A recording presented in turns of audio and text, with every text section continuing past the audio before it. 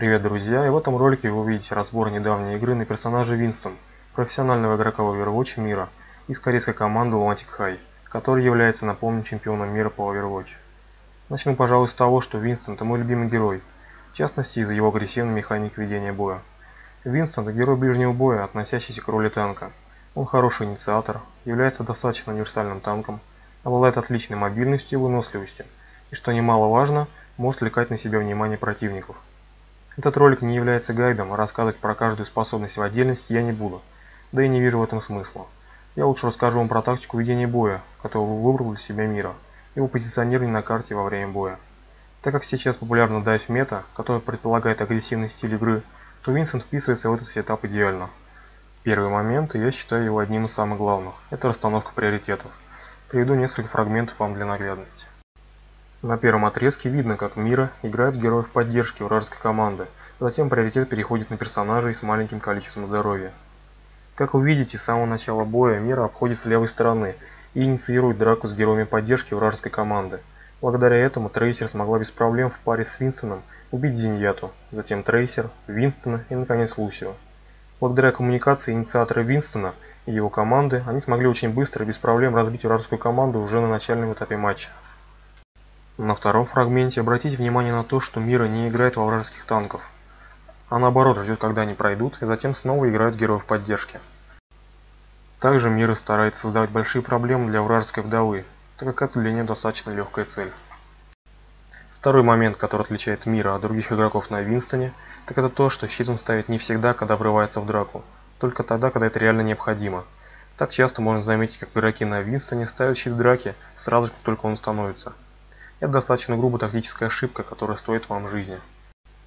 Третий момент – доступность его прыжка для моментального выхода из драки, если это требует ситуация. То есть опять же он следит за временем восстановления ее способности прыжок. Последний момент – это использование ультимативной способности персонажа как третьего щита в экстремальной ситуации, или когда драку необходимо затянуть и продолжить додавить соперников. Когда здоровье персонажа опускается до нижних значений, на этом моменте обратите внимание на количество здоровья, это около 150 поинтов и кулдаун щита. В этот момент Мира прожимает ульт и работает по приоритетной цели, в данном случае это Зиньятта, который в итоге он убивает. Ультимативная способность Винсона хороша тем, что его здоровье поднимается до 1000 поинтов. Он становится супермобильным, способен работать в одну цель, и за большей долей вероятности она умрет, так как уйти от Винсона становится еще больше проблемой. Ну и наконец хаос, который создает Винсону ультимативные способности на поле боя, является чаще всего нестерпимым для вражеской команды. Мир раскидывает всю вражескую команду по разные стороны, что дает его команде на самом деле огромное тактическое преимущество на поле боя. В этом моменте Мира старался выбить Зиньяту ультимативной способности от его команды, чтобы восстановления здоровья не было. Тем самым ульт Зиньят стал бесполезным. Одного героя поддержки он делил от команды, остальных героев убивать в течение нескольких секунд. Это в том числе одна из причин, почему сейчас так популярен дайв мета. При грамотной коммуникации команды такой стаб является сильнейшим в данный момент – как правило, это агрессивная точечная игра в саппортов, затем героев с низким запасом здоровья. Когда же танки остаются без хилов и своих ДПС, то они представляют угрозы. Выход Думфиста я считаю попыткой компании Blizzard сделать противовес этой стратегии. Возможно, в Divecom появятся большие проблемы из-за Думфиста. Все эти советы можно и нужно применять на практике в быстрой соревновательной игре в Overwatch. Давайте подведем некоторый итог. Первое это работа в команде. Второе. Приоритет игры саппортов и героев э, с низким запасом здоровья.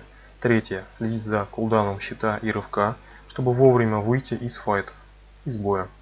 И последний момент – это использование грамотного ультимейта. На этом у меня все. Спасибо за то, что смотрели до конца. Пишите свои комментарии и мысли по этому видео. Ставьте лайк, подписывайтесь на канал. Также я часто делаю стримы, где я играю в рейтинговой игре 3500 рейтинга плюс. Надеюсь дойти до 4000. Всем вам желаю хорошего настроения и до встречи.